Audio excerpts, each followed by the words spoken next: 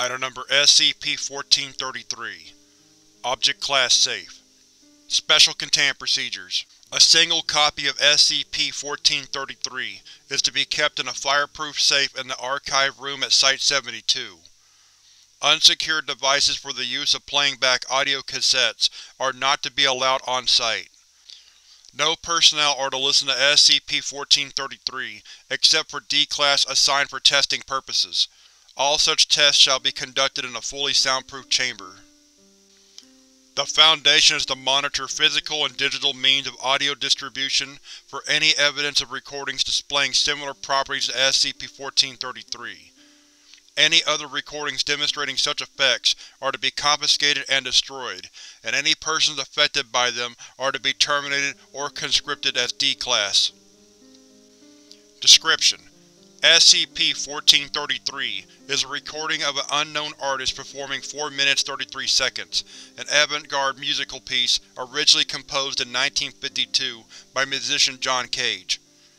The sole known copy of SCP-1433 is currently contained on an audio cassette of the type widely manufactured in the 1980s. The recording is present on both sides of the cassette. Once placed into any device capable of playing back sound from a cassette and playback is started, the recording will play in its entirety at a constant volume of 30 decibels, regardless of the original volume setting of the device. Attempts to stop playback of SCP-1433 by stopping or pausing the player, or by removing its power source, have been unsuccessful. Only disconnecting the playback device from the audio output has proven successful. All copies made of SCP-1433 display the same anomalous properties as the cassette recording, regardless of the storage medium used. As with the original version of 4 minutes 33 seconds, the recording begins with the sound of the performer seating his or herself at a piano bench and closing the lid.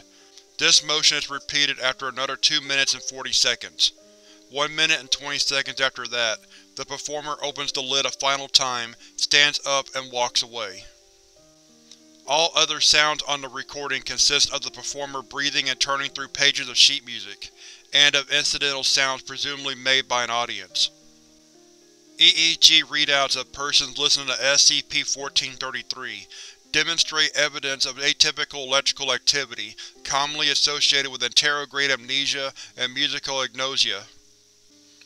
Persons listening to SCP-1433 report hearing a low male voice speak briefly after the second opening and closing of the piano lid. Acoustic analysis of SCP-1433 has failed to identify this voice on the original recording. Descriptions of what the voice is saying are inconsistent, and few exposed have reported hearing the same statement. All persons exposed to SCP-1433 report that the voice is male and speaks a single sentence in English, typically of a nihilist sentiment, and typically referencing 20th to 21st century English-language popular music. Statements reported to have been made by the voice include The words of the prophets are written on the subway walls. I don't believe in the Beatles. It's better to burn out than to fade away. There is no dark side of the moon, really matter of fact it's all dark. Not a word was spoken, the church bells all were broken. It's all been done, it's all been done, it's all been done before. Are we cool yet? Following exposure to SCP-1433, Subjects display symptoms of a psychological impairment similar to acute amusia.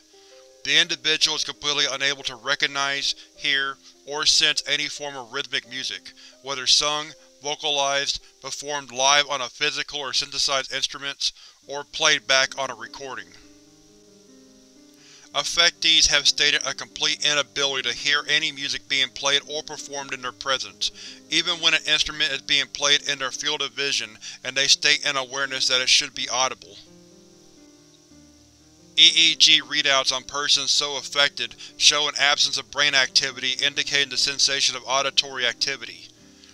This state is permanent and has shown no indications of being affected by amnestics. Aside from chronic psychological ailments induced by the inability to experience music, no other long-term effects of exposure to SCP-1433 have been noted. Addendum On 20 a test was conducted in which D-85702, a Caucasian male 67 years of age, was exposed to SCP-1433. In following test, D-85702 reported that he was still able to hear music of the hip-hop genre when played back to him. In subsequent interviews, D-85702 expressed a strong distaste for hip-hop and rap music, stating that it was just a bunch of damn noise, and doesn't even count as real music, and that he was unable to hear elements of such songs that had been sampled from pre-existing material of other genres. It is currently hypothesized that the amusia induced by exposure to SCP-1433 is related to the affectee's personal understanding of what constitutes music. Further testing is deemed necessary to confirm this hypothesis.